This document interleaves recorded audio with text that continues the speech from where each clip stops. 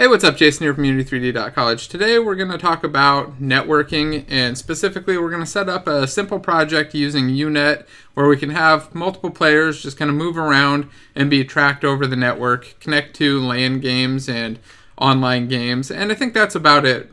And then eventually I think I'll turn this into a series where we can go through the whole process of building out a multiplayer game or at least a framework for it with the UIs and spawning things and all that other fun stuff. But for now, let's just get started with the basics. So I have an empty scene here, and the first thing I want to do is just create an empty game object and add a component to it. And what we want is the network manager. I'm also going to add the network manager HUD because we're not going to build a UI in this video. But again, later on, maybe we'll replace that, swap it out. And then I'll rename my game object to network manager just to make sure that it matches. I'm going to save my scene too, just call it demo. And let's take a quick look at the network manager. So there are a lot of settings here. The one that we're going to care about right now though is the player prefab. We want to be able to spawn a player, have them walk around and have that all translate over the network.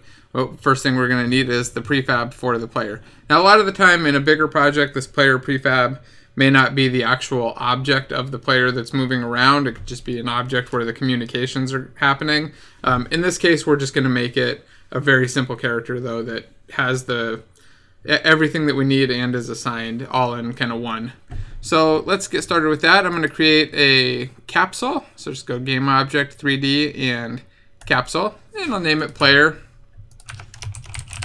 And I need to add a couple scripts here. So I need an identity, a network identity. Um, and we want to check local player authority because this is the player's object. It's something that the local player should be controlling every time, not the server. So check that box. Um, and then we need a network transform, just like that. And this just um, passes around the data for the position and rotation. So it's a lot like a transform, but the data is replicated over the network. It's not the fastest and most efficient way to do it. In fact, um, I think later I'll go into an example where we do some stuff to kind of speed this up and smooth it out a little bit more. But for now, I think it works and it gets the point across. So we've got the player kind of set up and I need to turn him into a prefab. So I'm just going to drop him down into the assets folder. Normally I'd have a prefabs folder or something, but this is pretty simple. So I don't really need that. And then I'll delete the player from the scene, select my network manager and assign the player prefab. Now if I save, if I press play, I should be able to create a game. Just hit LAN host, and my player was instantiated. You can see him right there. Can't do anything with him yet, so let's uh, fix that up, and then we'll start hooking up other um, other characters logging in or connecting. So to set this up, we're going to create a new script, and I think I'll call it player mover. Okay, and then uh, the first thing we need to do is change this from mono behavior to network behavior. So just change that, um, control period, and get that using statement for Unity Engine.networking. Um, fix the formatting with Control K, Control D, get rid of start and that, and just put the word private there to be consistent. Now, what we want to do is check for input. So we'll just do the, the very basic stuff of it. Let's see, we'll do float horizontal equals input dot get axis horizontal. And then we'll do the same for the vertical. And then we want to move the player. So we're going to get a vector 3 of named movement. And we'll set it to a new vector 3 of horizontal, comma 0 for the y because we don't want to go up and down, and vertical. Then we need to move the player, so just do transform dot position plus equals movement times time dot delta time times move speed. Just want to put in a movement speed variable so we can adjust how fast these characters move. Oh, didn't want that there. I want that as a field right there. And then add the serialized field attribute. So it shows up in the inspector and give it a default of one. Now this will work, but it's not taking into account something pretty important, which is that we only want the local player actually being able to move this thing.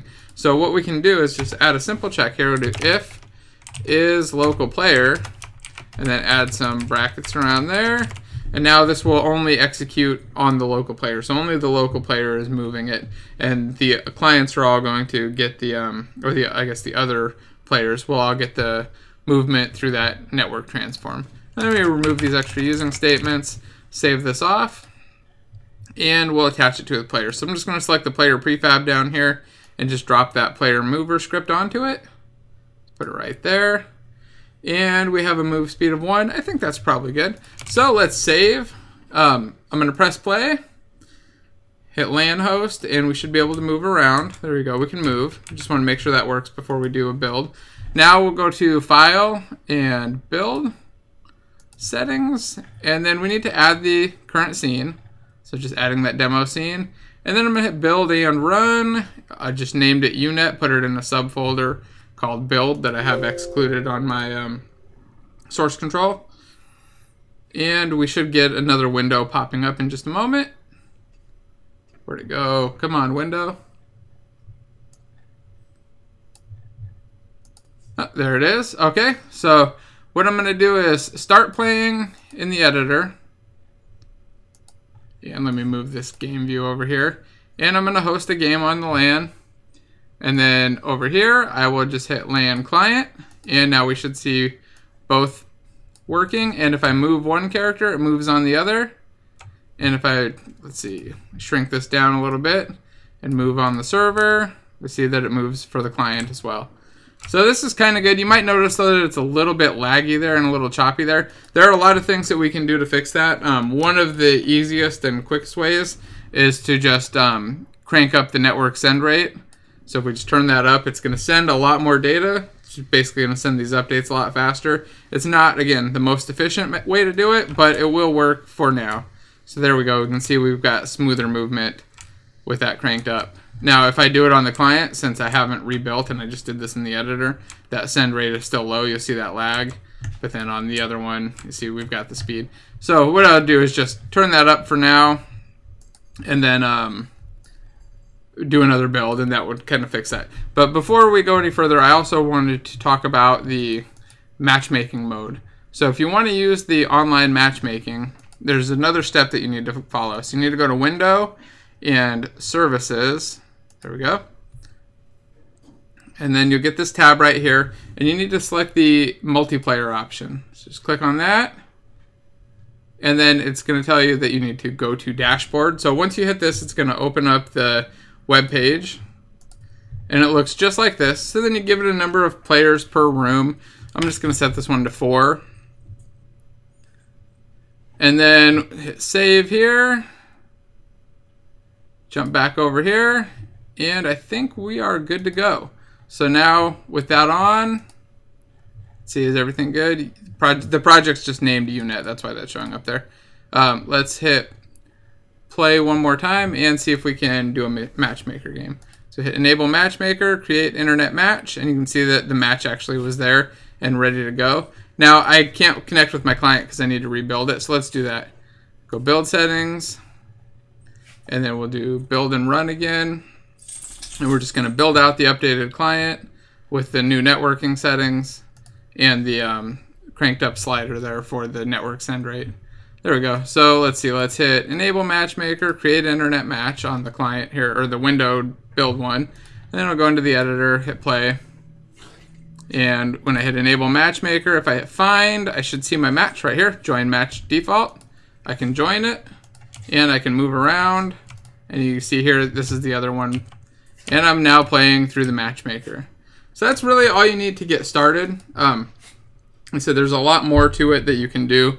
Uh, if we want to spawn bullets or shoot things or send other messages, it's a little bit more complicated, but not much. A lot of this stuff is just a couple lines of code and things kind of just magically work. So if you're interested in UNet stuff, please just uh, drop a comment below and I'll, like I said, turn this into a series where I'll talk about you know, how to do all of this plus all the more complicated stuff. Maybe we'll build up a custom UI for the matchmaking because this built-in one is, while it's functional, it's not pretty at all, and we want something nice there. So again, I guess uh, thanks for watching the video. Hope you like it. If you did, don't forget to share, subscribe, and hit the thumbs up button. And thanks again.